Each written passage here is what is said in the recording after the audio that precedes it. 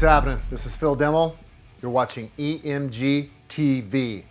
This is five minutes with Phil.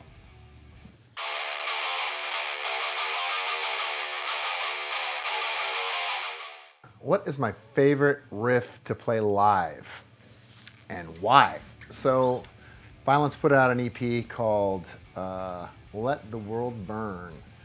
And uh, the last song I wrote for it musically was a song uh, called Upon Their Cross. And I didn't know, I didn't think it was a Vio-lence song when I wrote it. I thought because I'm writing for numerous different projects, but I was uh, came up with this riff in the jam room with the Vio-lence dudes, and uh, was running through it, and I wasn't sure, but uh, it's got a cool tremolo piece, and it kind of goes something like this.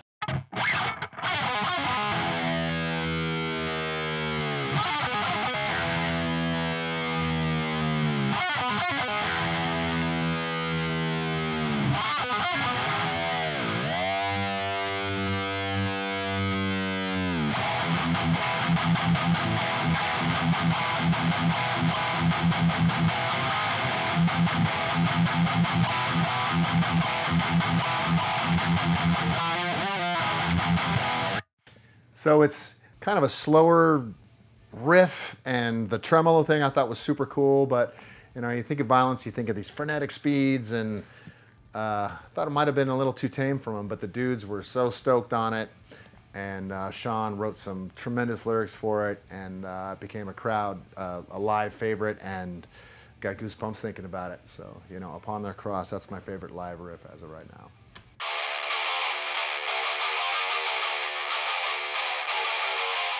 What riff should every guitar player know how to play or have or have learned over time?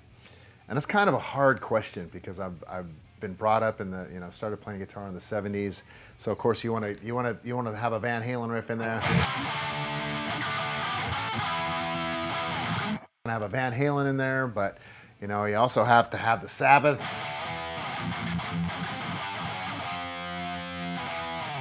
Have the War Pigs, but I think what I'm going with is going to be a Randy Rhoads riff, and it's uh, Crazy Train.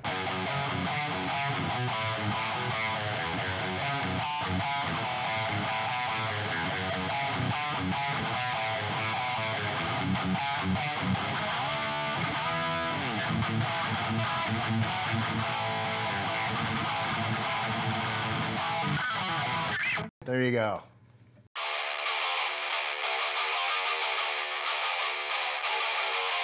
What is my favorite guitar body shape style and why?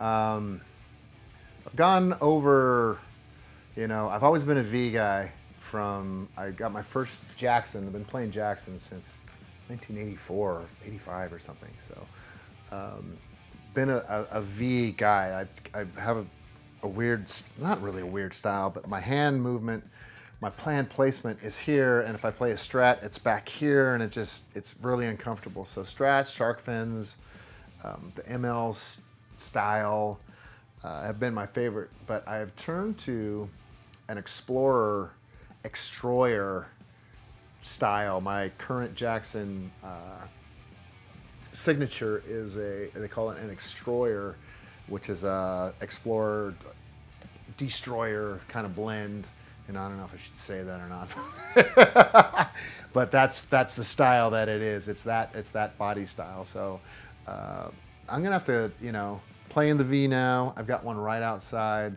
but um, it's it's a mix between the two because the the way that they they sit on me. So.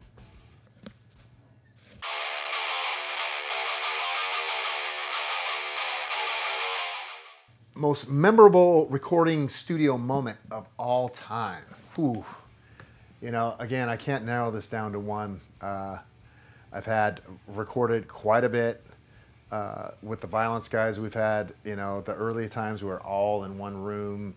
And uh, I remember us doing Eternal Nightmare at the Music Grinder down in LA, and we, we were in there right after Dokken had recorded Back for the Attack. So they had, you know, upside down crosses and tape and just all this. We we're just like, holy crap, you know, we're in, in Hollywood recording, and that was a great experience.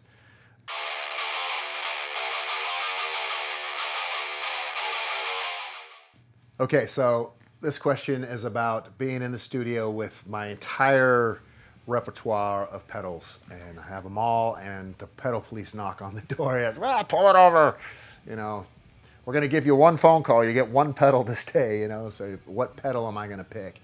Uh, I have to say that I don't have to say. I'm gonna say that I'm gonna uh, I'm gonna keep my uh, Dunlop has uh, has a wah, uh, and they've they put an auto uh, return on it. So you step on it, it's on, and it, and it has a spring on it, so it comes back. So I, I love using the wah, and I'd have to say, you know, the pedals you can you can add to plugins and everything, but the wah is the one thing that you're really connected to that really flows through your body and feels with. So I'm gonna go with uh, with my custom Dunlop wah.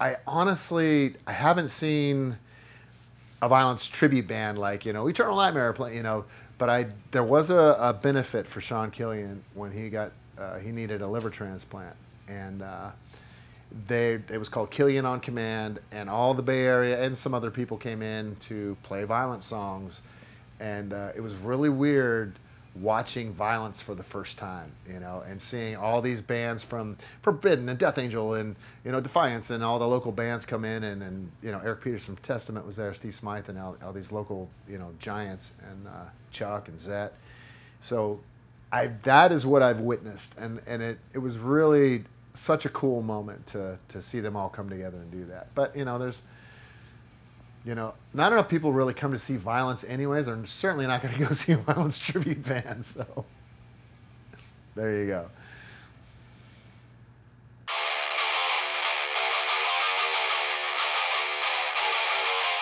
Have I ever met a Phil Demmel impersonator? Um, I've I've got some doppelgangers out there for sure. Uh, but I haven't met anybody. Haven't uh, online. There has been some impersonators, yes. Uh, that's how I found out about Twitter in the first place. Was somebody? Oh yeah, I follow you on Twitter, and it's like I'm not on.